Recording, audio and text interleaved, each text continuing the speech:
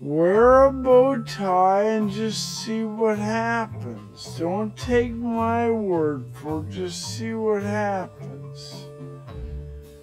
And uh, what I'm talking about is women. You just wear a bow tie and see what happens.